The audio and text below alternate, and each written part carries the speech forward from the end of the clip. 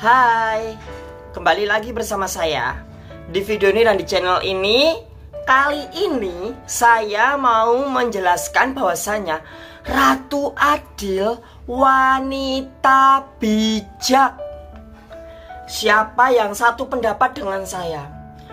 Tulis komentar di kolom komentar ya Jadi Ratu Adil adalah seorang wanita bijak banyak sekali jenis wanita yang ada di dunia ini. Salah satunya adalah wanita bijak. Dan ada suatu ayat di dalam Alkitab yang menjelaskan mengenai wanita bijak. Yaitu di Amsal pasal 14 ayat 1. Yang bunyinya, perempuan yang bijak mendiri, mendirikan rumahnya. Tetapi yang bodoh menghancurkannya dengan tangannya sendiri.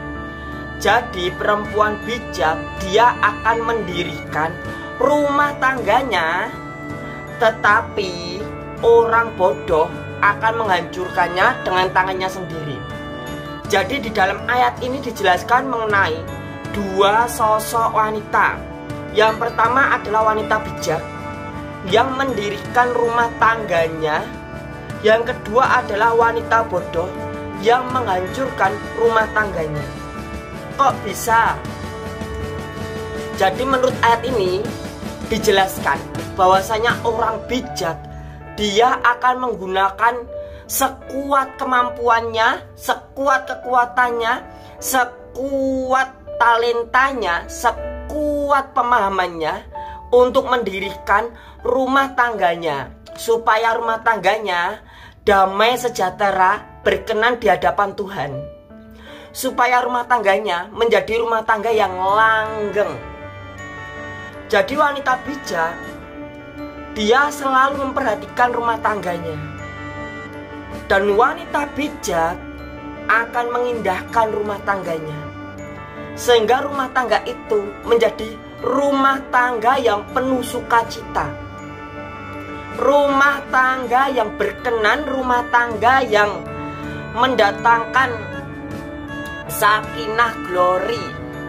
Siapa sih orang yang nggak mau rumah tangganya sakinah glory? Kalau di dalam Islam itu katanya gini, rumah tangga yang uh, sakinah. Jadi rumah tangga yang uh, benar-benar mumpuni. Jadi rumah tangga itu mendatangkan damai sejahtera is anu suaminya tenang, damai, sejahtera, ayam tentrem. Anak-anaknya juga merasakan kedamaian, kenyamanan, kesejahteraan di dalam rumah tangga itu. Karena rumah tangga itu dibangun oleh wanita yang bijaksana. Wanita yang bijaksana tentunya dia akan memiliki pola pikir, memiliki IQ dan IQ yang jenius, yang di atas rata-rata jadi dia itu sanggup menghadapi segala persoalan yang ada di rumah tangganya. Jadi wanita bijaksana sangat mumpuni di dalam persoalan rumah tangga. Wanita bijaksana akan menjadi mutiara di dalam rumah tangganya. Karena wanita yang bijaksana, dia akan membanggakan keluarganya. Wanita yang bijaksana dia akan menjadi kebanggaan bagi suami dan anak-anaknya. Karena apa? Suami dan anak-anaknya tahu bahwasanya dia memiliki istri dan sosok ibu yang luar biasa. Sosok ibu, sosok istri yang bijaksana. Berbeda dengan wanita bodoh.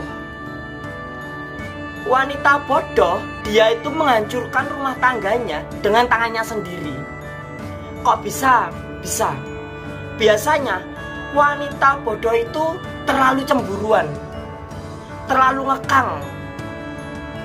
Jadi segala sesuatu harus sesuai dengan keinginan dia. Dan biasanya wanita bodoh itu membuat suaminya merasakan hawa panas. Jadi suami dan anak-anaknya merasakan hawa panas. Hawa yang gak enak, hawa yang gelisah. Jadi hawa yang penuh dengan aura uh, kejahatan, aura gelap. Jadi panas hawanya. Dan biasanya wanita-wanita bodoh itu dia mencari-cari masalah di dalam rumah tangga. Sampai-sampai rumah tangganya bisa hancur lebur, bisa cerai berai. Cuma karena si wanita bodoh. Sedangkan wanita yang bijaksana, dia akan membawa hawa sejuk. Hawa yang tenang, sejuk di dalam rumah tangganya. Dan di dalam Alkitab, di dalam Amsal pasal 12 ayat 5a itu juga dijelaskan. Orang yang bijak lebih berwibawa daripada orang kuat. Orang yang kuat memang dia berwibawa. Kalau kalian tahu, seorang preman, seorang orang, uh, mereka berwibawa, berwibawa badannya kekar, jadi kayak medeni gitu, serem gitu. Uh, badannya gede gitu ya. Tapi orang yang bijaksana, dia jauh lebih berwibawa daripada orang kuat. Kalau kalian berada di dekat orang yang bijaksana, kalian akan merasakan perbedaan dia. Perbedaan orang bijaksana dengan orang yang biasa-biasa saja. Perbedaan orang yang bijaksana dengan orang-orang bodoh itu kelihatan. Kalian bisa merasakan dari kewibawaannya. Orang yang bijaksana dia membawa suatu wibawa yang besar di dalam kewibawaannya maka dari itu wanita yang bijaksana dia adalah wanita yang berwibawa. Dan kebijaksanaan ini ternyata ada karakteristik karakteristik wanita-wanita bijak. Ada empat karakteristik yang dimiliki oleh wanita bijak. Ternyata wanita bijak itu juga memiliki suatu karakter yang harus kita ketahui. Yang pertama, wanita yang bijaksana adalah wanita yang mencintai firman Tuhan. Wanita bijaksana, dia selalu membaca Alkitab, membaca Al-Quran, dia suka membaca.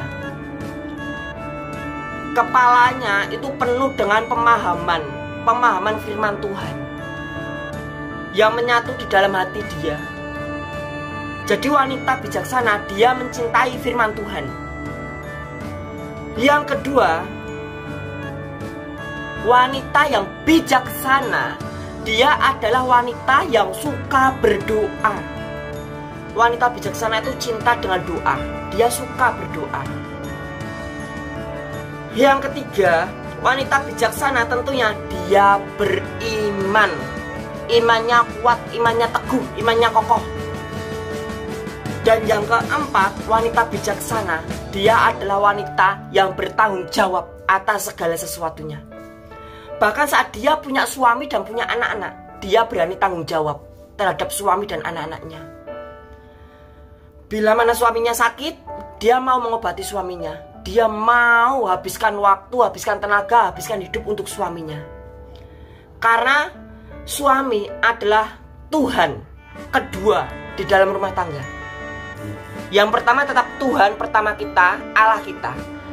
Tapi seorang istri wajib untuk berbakti kepada suami.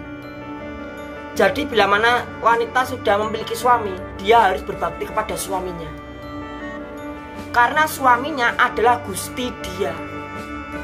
Itu kilasan informasi kali ini. Jangan lupa like dan subscribe video ini.